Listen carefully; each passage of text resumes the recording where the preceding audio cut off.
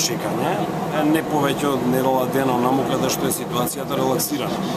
Кои се земји од тој тип да речеме, Полска на 38 милиона луѓе има 126 акселератори, таму чекањето вие додека се изработи планот. Значи од симулација до до зрашење е недела дена, со убава дисперзија по по региони.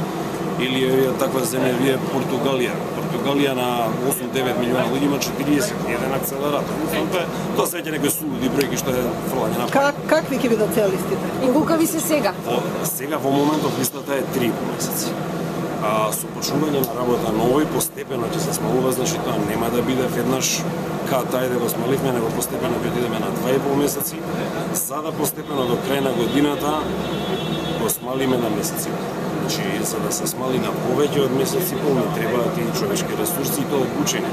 Значи, не почепници што тек сега почињаат, него такви физичари немаме. Значи, обучени сите што горе-доле се обучени или се ке нас, или се на нуклеарно со медицинска... До колку очекувате дека ќе може да се користи стариот акселератор?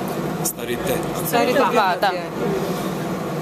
Фала Богу, а, сега се стабилни, значи во изминативе 13 месеци вкупно 7 милиони денари потрошивме на а, нивно сервисирање, добро се сервисирани, до лето во очекувам стабилно да работат со тоа што кога ќе почнат големите температури препораките се која веќе на довешната температура ќе отиде над 40 степени да се направи пауза, ќе го почитуваме оваа година. Тоа минатата година не го почитувавме и скоро кога беа тие големи температури, скоро секој ден имавме исполнение.